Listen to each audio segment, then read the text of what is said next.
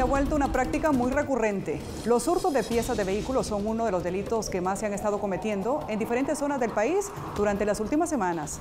Ante esta situación es importante que la población sepa cuáles son las piezas preferidas de los delincuentes y las recomendaciones para evitar ser víctima de estos hechos.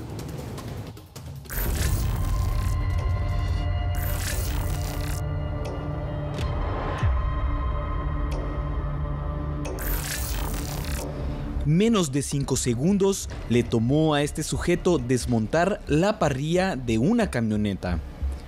Vuelve a ver a su alrededor, disimula y se acerca a su objetivo.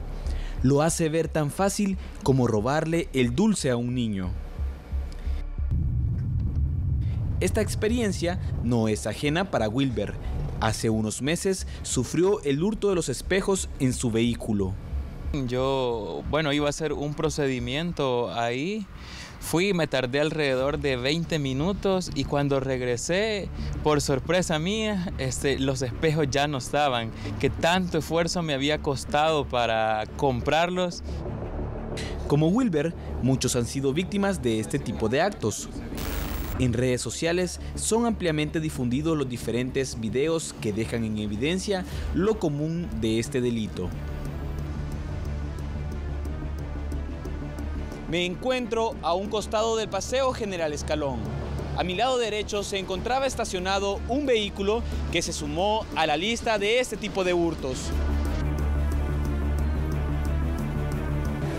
A plena luz del día y con lo desolado de la zona, desmonta las piezas del automotor y las esconde en su camisa. Un poco más adelante, pasa justo enfrente de otras personas que parecieran no sospechar lo que el sujeto acaba de hacer.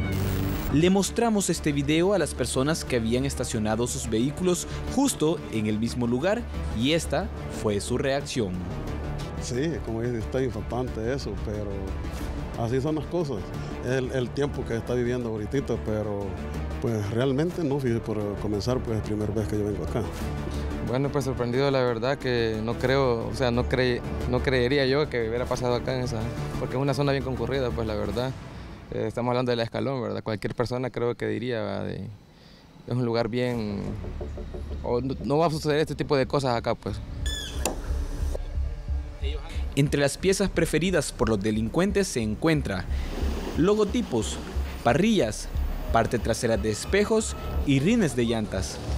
Pues ellos andan ya herramientas especializadas, andan eh, taladros inalámbricos y andan herramientas que solo pues tienen filo y quitan los emblemas.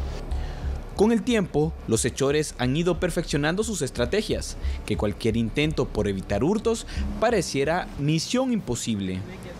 Eh, la dan a un precio quizás, hay veces como no, no hay esas piezas, salen un poco más caras comprárselas a ellos, ¿verdad? Ya se las ingeniaron. Ellos ya van adelante de uno. Uno les pone remaches a los emblemas y ellos andan su taladro con su broquita, se los quitan y se los llevan. Las principales recomendaciones para evitar este tipo de hechos son parquear el vehículo en un lugar donde haya presencia de cámaras de seguridad, cerciorarse que el parqueo donde deja su automotor tenga presencia de vigilantes y nunca deje objetos de valor dentro del carro. Andrés Sandoval para Tele 2. Este tipo de hechos son delitos, por lo que es importante saber cuáles son las penas carcelarias para los que hurten piezas en los vehículos. Veamos, el Código Penal, en el artículo 207, establece condenas de 2 a 5 años de prisión por el delito de hurto, es decir, apoderarse de un bien ajeno sin el consentimiento del dueño, pero sin emplear la fuerza. Y bueno, recuerde, si quiere escuchar nuevamente estas recomendaciones, le reitero, todo ese material está en nuestras redes sociales.